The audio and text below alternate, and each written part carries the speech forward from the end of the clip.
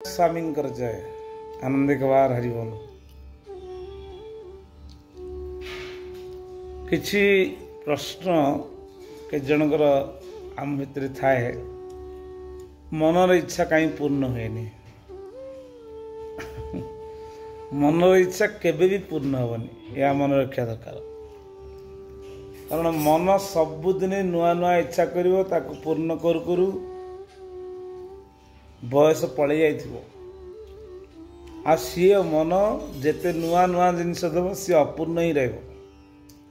ପ୍ରଥମେ ଲାଗିବ ନୂଆ ନୂଆ ଆନନ୍ଦ କିଛି ସମୟ ପରେ ସେ ବିଷାକ୍ତ ହେଇଯିବ ପୁଣି ପୁରୁଣା ଛାଡ଼ିକି ନୂଆ ଖୋଜେ କିନ୍ତୁ ମନର ଇଚ୍ଛା ପୂର୍ଣ୍ଣ କରିବା ପାଇଁ ମାନବର ଦେହ ପ୍ରାପ୍ତ ହେଇନି। କେବଳ ଆତ୍ମାର ଇଚ୍ଛା କରିବା ପୂର୍ଣ୍ଣ ଇଚ୍ଛା କରିବାର ଉଦ୍ଦେଶ୍ୟରେ ହିଁ ମାନବ ଦେହ ପ୍ରାପ୍ତ ହେଇଛି। ଆତ୍ମାର ଇଚ୍ଛା ପୂର୍ଣ୍ଣ କେମିତି ହେବ? ନା ଭଗବାନଙ୍କ ଶରଣାଗତ ହିଁ ଗୁରୁଗତ ପ୍ରାଣ ହିଁ ଗୁରୁ ସେବା କରି ଠାକୁରଙ୍କୁ ନିଜର ସମସ୍ତ ତନ ମନ ଧନ ସମର୍ପଣ କରି ତାଙ୍କ ପ୍ରୀତି କାର୍ଯ୍ୟରେ ଯଦି ମନକୁ ସଂଲଗ୍ନ କରିବ ଆତ୍ମା ତୃପ୍ତି ପାଇବ ଆତ୍ମା ତୃପ୍ତି ଯେଉଁଦିନ ପାଇଯିବ ମନ ସବୁଦିନ ଭାବରେ ସବୁ ସମୟ ପାଇଁ ପୂର୍ଣ୍ଣ ହେଇଯିବ କାରଣ ଆତ୍ମାର ଖୋଜିବା ଉଦ୍ଦେଶ୍ୟ ହେଉଛି ଭଗବାନଙ୍କୁ ଆତ୍ମା ଖୋଜେ। ମନ ଖୋଜେ ଜଡ଼ ପଦାର୍ଥ। ଜଡ଼ ପଦାର୍ଥ ତ ନୂଆ ନୂଆ ତିଆରି ହେଉଛି। ଯେତେ ନୂଆ ଆସିବ ସେତେ ମନ ଅପୂର୍ଣ୍ଣ ହିଁ ରହିବ। ମନର ପରିପୂର୍ଣ୍ଣତା ହେବନି। ତେଣୁ ମନ ଯେଉଁଦିନ ପର୍ଯ୍ୟନ୍ତ ଜଡ଼ ବସ୍ତୁ ତ୍ୟାଗ କରି ଚିନ୍ମୟ ବସ୍ତୁ ପ୍ରାପ୍ତ କରିବା ପାଇଁ ଯିବ ମନ ସେଦିନ ଶାନ୍ତି ହେଇଯିବ। ତେଣୁ ମନର ବୋଲକର ନ ହେଇ ଆତ୍ମାର ବୋଲକର ହେଲେ ଅନ୍ତରର ବିବେକର ବୋଲକର ହେଲେ ମନୁଷ୍ୟ ମାନବ ଜନ୍ମ କ'ଣ ବୋଲି ଜାଣିବ? ଗୁରୁଙ୍କର କୃପା ପ୍ରାପ୍ତି ହେବ। ଯାହାଫଳରେ ଗୁରୁ ସାଧୁ ସନ୍ଥ ବୈଷ୍ଣବମାନଙ୍କର ଶରଣାଗତ ହେଇ ପ୍ରଭୁ ପ୍ରୀତି କାର୍ଯ୍ୟରେ ମନ ଲାଗିଗଲେ ମନ ପରିପୂର୍ଣ୍ଣ ହେବ। ସେଦିନ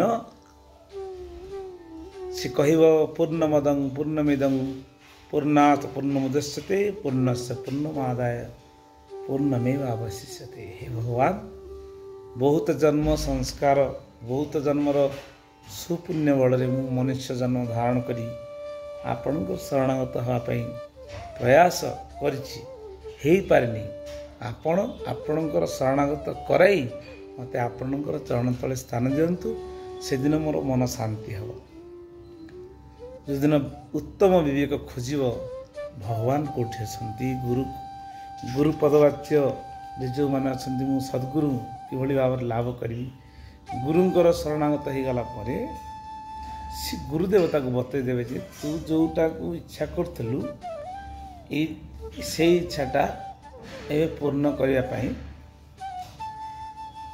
ଗୁରୁ ରୂପରେ ଭଗବାନ ଆସି ତୁମକୁ ତତ୍ତ୍ୱ ପ୍ରଦାନ କରୁଛନ୍ତି ଆଉ ସିଏ ବନ୍ଦେ କୃଷ୍ଣ ଜଗତ ଗୁରୁ ମୋର ନାଥ ସିନା ତୁମେ ଜଗତର ଏଣୁ ଜଗନ୍ନାଥ ନାମ ଗୁରୁଙ୍କର ସେ ଗୁରୁଙ୍କର କୃପାର ପ୍ରାପ୍ତି ହେବା ପାଇଁ ହେଲେ ତୁମେ ମୋର ଶରଣାଗତ ହେଇଛ। ତୁମକୁ ମୁଁ ଗୁରୁ ରୂପରେ ପ୍ରଦାନ କରୁଛି ଯେଉଁ ଜ୍ଞାନ। ସେ ଜ୍ଞାନ ପ୍ରାପ୍ତ ହେଇକି ତୁମେ ଜଡ଼ ପଦାର୍ଥରୁ ନିଜକୁ ନିବୃତ୍ତି ରଖି ସେ ପ୍ରବୃତ୍ତି ମାର୍ଗରୁ ଆସି ନିବୃତ୍ତି ମାର୍ଗରେ ରହିକି ଈଶ୍ୱର ସାଧନ କର।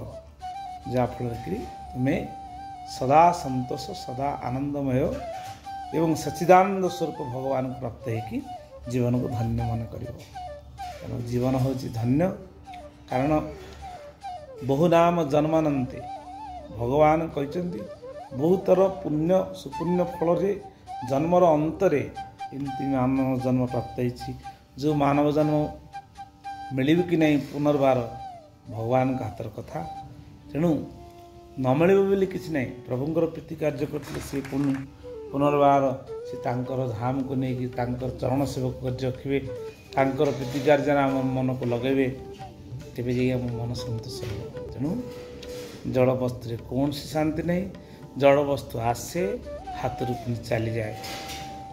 ଚିନ୍ମୟ ବସ୍ତୁ ପରମ ବ୍ରହ୍ମ ପରମାତ୍ମାଙ୍କର ଶରଣାଗତ ହେଇ ସେ ଚିନ୍ମୟ ସତ୍ତାକୁ ଜୀବ ଯେତେବେଳେ ପ୍ରାପ୍ତ ହେଇଯିବ ସେ କ'ଣ ହେବ? ସଦା ସଚିଦାନନ୍ଦ ସ୍ୱରୂପ ହେଇ ସଦା ସର୍ବଦା ଦୁଃଖ ସୁଖ ହାନି ଲାଭ ଭଲ ମନ୍ଦ ହଁ ପ୍ରତ୍ୟେକ ମୁହୂର୍ତ୍ତରେ ସେ ପ୍ରଭୁଙ୍କ ଚିନ୍ତନ କରି ସଦାନନ୍ଦରେ ଥିବ। ସେ ରହୁ କିମ୍ବା ବାନପ୍ରସ୍ଥରେ ରହୁ କିମ୍ବା ବୈରାଗ୍ୟରେ କିମ୍ବା ତ୍ୟାଗରେ। ରହୁ ତେଣୁ ମନର ପରିପୂର୍ଣ୍ଣତା ସେତେବେଳେ ହେବ।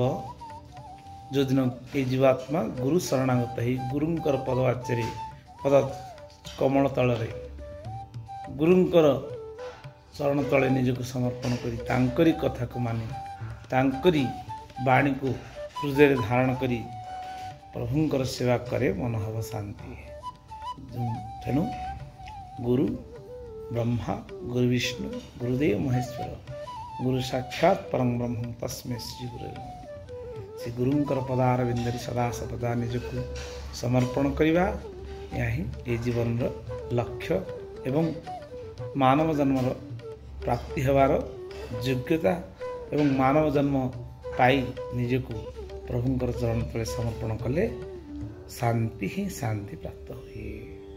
ଧନ୍ୟବାଦ। ପ୍ରଭୁ ତୁମର ସମସ୍ତଙ୍କର ଜଗତର ମଙ୍ଗଳ କରନ୍ତୁ ସମସ୍ତଙ୍କୁ ଖୁସିରେ ରଖନ୍ତୁ। ପ୍ରଭୁଙ୍କ ପ୍ରୀତି କାର୍ଯ୍ୟ ସମସ୍ତେ କର।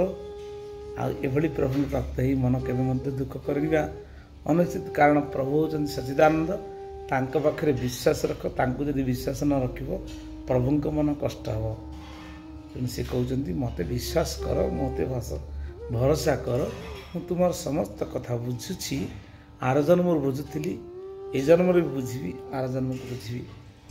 ଚିନ୍ତା କରନି ପ୍ରଭୁଙ୍କର ପ୍ରୀତି କାର୍ଯ୍ୟରେ ତାଙ୍କର ସଦିଚ୍ଛାରେ ନିଜ ଇଚ୍ଛାକୁ ପରିପୂର୍ଣ୍ଣ ଭାବରେ ମିଶାଇ ଦେଇ ତାଙ୍କ ହସରେ ନିଜ ହସକୁ ମିଶାଇ ତାଙ୍କର ମଧୁର ମୂର୍ତ୍ତିକୁ ଧ୍ୟାନ ସ୍ମରଣ ଚିନ୍ତନ କରି ନିଜକୁ ଧନ୍ୟ ମନେ କର। କାରଣ ଏ ମାନବ ଜନ୍ମ ପୁନର୍ବାର ଠାକୁର ଆମକୁ ଦେବେ କି ନାହିଁ ସନ୍ଦେହ ଏ ଦେହରେ ଏ କର୍ମେନ୍ଦ୍ରିୟ ଜ୍ଞାନେନ୍ଦ୍ରିୟ ଏ ଅନ୍ତରେନ୍ଦ୍ରିୟ ସବୁ ଗୁରୁଦେବଙ୍କ ପାଦ ପଦ୍ମରେ ସମର୍ପଣ କରି ସେ ଜଗତର ନାଥ ଜଗନ୍ନାଥ ମହାପ୍ରଭୁଙ୍କ ପାଦ ପଦ୍ମରେ ନିଜକୁ ସମର୍ପଣ କର।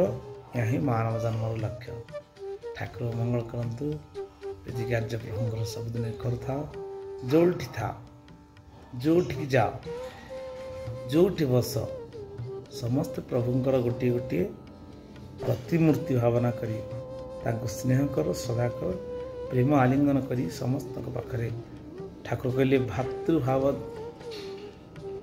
ସତ୍ୟମଣ ଭାଇକି ଭାଇ ଭାବେ ଦେଖ ତେଜ ଅସ୍ପର୍ଶ ନୀତି ମନ୍ଦ କର୍ମ ହୃଦୟ ତେଜ ସ୍ୱାମୀ କହିଅଛନ୍ତି ଭାଇକି ଭାଇ ଭାଇ ଦେଖ ସମସ୍ତେ ଆମେ ଠାକୁରଙ୍କର କୃପାର ପ୍ରାପ୍ତ ଆଉ ଭଗବାନ କୃପା କରିକି ଆମକୁ ମାନ ଜନ୍ମ ଦେଇଛନ୍ତି। ସବୁ ଘଟିରେ ପ୍ରଭୁ ବିରାଜମାନ କରିଛନ୍ତି। ସମସ୍ତଙ୍କ ପାଖରେ ସକାଳ ସନ୍ଧ୍ୟାରେ ପ୍ରାର୍ଥନା କର। ସବୁ ଘଟିରେ ତୁମେ ଅଛ ସମସ୍ତଙ୍କୁ ପ୍ରଣାମ କର। ମନେ ମନେ ଏବଂ ଭଗବାନ ଧନ୍ୟବାଦ ଦିଅ ପ୍ରଭୁ।